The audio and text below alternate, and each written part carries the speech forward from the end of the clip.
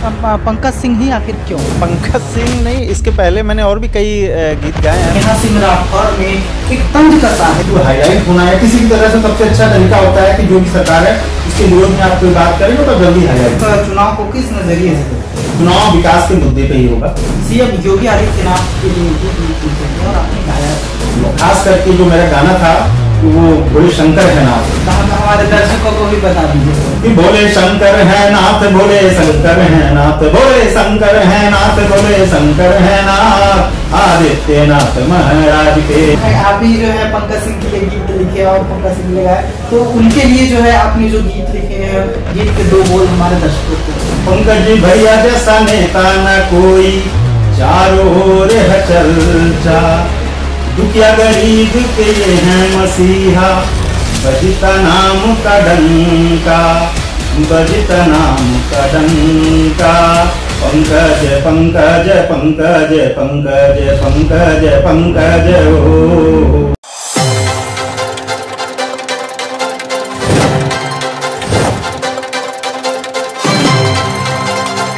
नमस्कार, we nation news देख रहे हैं आप। मैं हूँ आपके साथ विपुल पांडे। इन दिनों आपको बता दें कि उत्तर प्रदेश में विधानसभा चुनाव है और विधानसभा चुनाव को लेकर सरगर्मी जो है वो तेज है।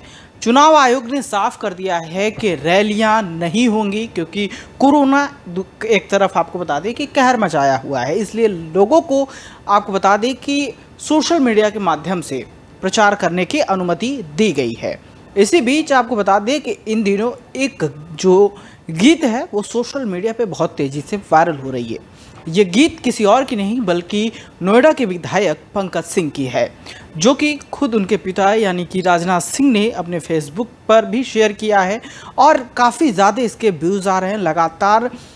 लोगों के मन में सवाल है कि आखिर ये गीत किसने गाया और कौन? तो हम आपको बता दें कि वी नेशन न्यूज़ पहुँच चुका है जिसने ये गीत लिखी और जिसने इस गीत को स्वर दिया है तो आइए हम उनसे ही सीधा ही बात करते हैं। सबसे पहले उनका परिचय जानते हैं। सर आपका परिचय? मेरा नाम रंजीत तिवारी है।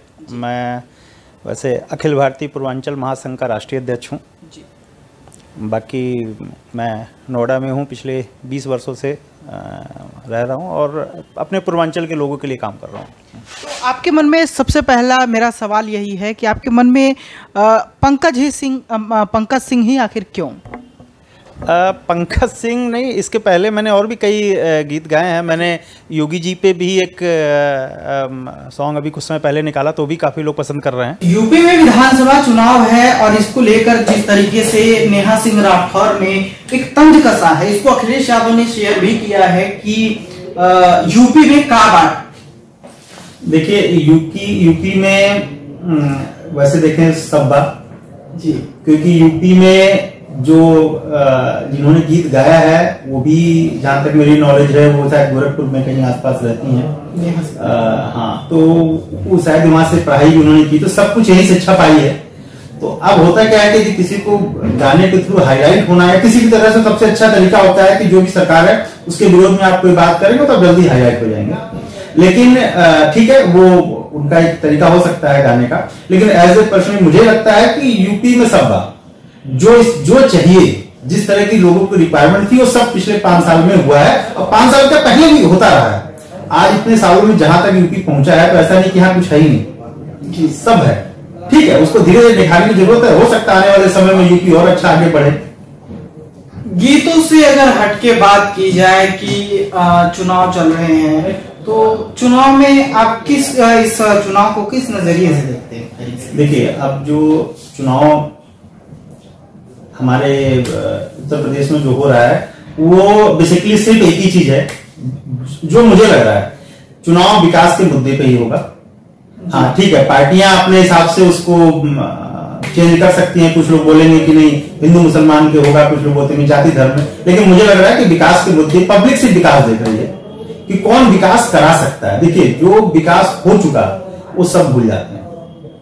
आज आप और हम जहाँ रह रहे हैं वहाँ रोडें बहुत अच्छी हैं। अब हमको रोड नहीं चाहिए तो रोड अच्छी है। अब हमें अगला क्या मिलेगा? उसकी बात। तो ये जो ध्येय होता है कि कौन कर सकता है? क्या वो बीजेपी कर सकती है सपा करता है बहुजन? ये सबको सोचना है। और लोगों ने लगभग मन बना लिया है किसको वोट देना किसको जिताना है। चलिए अगर बात किया जाए आपने जैसा कि बताया कि आपने सीएम योगी आदित्यनाथ के लिए भी गीत लिखे थे और आपने गाया भी। तो उस पर आपका मतलब किस किस, उसमें आपके मन में क्या सवाल आया उस वक्त कि हाँ एक बार जो है सीएम के लिए भी गीत लिखा जाए और इस गीत को प्रसारित किया जाए? देखिए, मैं योगी जी को पिछले बाईस, तेईस सालों से पर्सनली जानता हूँ और मैंने उनको बहुत स्टडी किया उनके बारे में और देखा है, उनका व्यक्तित्व है कैसा। तो मैंने मेरे दिमाग में आया कि मैं एक, मैं किसी पार्टी से लेकर, आप गाना सुनेंगे तो मैं किसी पार्टी का नहीं था वो गाना, वो सिर्फ़ और सिर्फ़ योगी के लिए था। योगी के जो उन, जो जिस तरह से वो चलते हैं और खास करके जो मेरा गाना था कि वो भोले शंकर है नाथ ये गाने का जो टाइटल है भोले शंकर आप जरा हम हमारे दर्शकों को भी बता दीजिए थोड़ा सा। तो वो ये गाना ऐसा है कि भोले शंकर है नाथ भोले शंकर है नाथ भोले शंकर है नाथ भोले शंकर है नाथ आदित्य नाथ महाराज के। भोले शंकर है नाथ आदित्य नाथ महाराज के। तो ये जो है, उनके लिए बेसिकली हमने गाना बनाया था कि ये एक्चुअली भोले शंकर को बहुत वो करते हैं और नाथ संप्रदाय जो है भोले शंकर का ही एक बेसिकली शंकर भगवान के रूप थे गोरखनाथ जी। तो नाथ संप्रदाय का ही रूप है। तो इसलिए मैं थोड़ा सा मेरे को लगा कि उनके लिए तो ये गाना गाना चाहिए और मैंने जो है वो लिखा कंपोज किया और गाया। अच्छा एक चीज़ और अभी, जैसा कि आपने सीएम योगी के लिए गीत गाया, आपने सुनाया। तो दर्शकों को ये भी तो लगना चाहिए, आप आप भी जो है पंकज सिंह के लिए गीत लिखे और पंकज सिंह ने गाया। तो उनके लिए जो है आपने जो गीत लिखे हैं, गीत के दो बोल हमारे दर्शकों को पंकज भैया जैसा नेता न कोई, चारों ओर है चर्चा। दुखिया गरीब के ये हैं मसीहा, बजता नाम का डंका। बजता नाम का डंका पंकज पंकज पंकज पंकज पंकज पंकज ओ पंकज पंकज पंकज पंकज पंकज पंकज ओ तो ये था अभी जैसा कि आप लगातार सुन रहे हैं और ये लगातार जो गीत है ट्रेंड कर रहा है तो ये वही गीत है जो अभी आपने सुना और जैसा कि उन्होंने बताया कि ये गीत काफ़ी तेज़ी से इस वक्त वायरल भी हो रहा है। अगर बात करें पूर्वांचल की तो पूर्वांचल में इस वक्त जो है काफ़ी चुनावी सरगर्मी आते ही पार्टियों की जो है अदला बदली लोग एक पार्टी से दूसरी पार्टी में दूसरी पार्टी से शामिल हो रहे हैं। इसको लेकर आप क्या कहेंगे? देखिए जब चुनाव आता है तो लोग ज़रूर एक दूसरे पार्टी में जाते हैं। जैसे कुछ लोग जिसको लग रहा होगा कि बीचे बीजेपी में उनको टिकट नहीं मिल रहा है, या वो जैसा सोच रहे थे उस तरह की चीज़ें नहीं मिल पा रही हैं तो लोग ऑब्वियस है वो शिफ्ट करते हैं दूसरे पार्टी पे। लेकिन जो अभी का माहौल जो मैं देख रहा हूँ जो लोगों से मिलता हूँ, बात करता हूँ, लोगों ने पूरा मन बना लिया है कि किसको वोट देना है। अब वो पार्टियाँ बदलने से कुछ नहीं होता। इसके पहले भी आपने बंगाल में भी देखा होगा। बंगाल में टीएमसी से बहुत से लोगों ने छोड़ के बीजेपी में ज्वाइन किया था। तो ऐसा लग रहा था कि बीजेपी स्वीप कर रही है। लेकिन हुआ नहीं। एंड ऑफ़ द डे वो बंगाल में टीएमसी पिछली बार से भी ज़्यादा सीट लाई। ये भी कहा जा रहा है कि यूपी में इस बार खेला हुए खेला। देखिए खेला अब मैं ये तो नहीं बता सकता खेला कैसे हुए लेकिन हाँ ये ज़रूर है कि जो पिछली बार जो चुनाव हुआ था पहली पिछली बार मोदी जी के नाम से चुनाव हुआ था। यहाँ कोई कैंडिडेट नहीं था चीफ मिनिस्टर का। अभी तो योगी जी भी आ चुके हैं। तो मोदी मोदी प्लस योगी जो बहुत है उपयोगी जो मोदी जी ने खुद बोला है। तो आप मुझे ऐसा लगता है यूपी के लिए उपयोगी है हाँ यूपी के लिए उपयोगी है और यू, यूपी के लिए जो उपयोगी है वो पूरे देश के लिए उपयोगी है। जी। जहाँ राष्ट्र की बात आती है वहाँ पे तो योगी से बैठक कोई नहीं।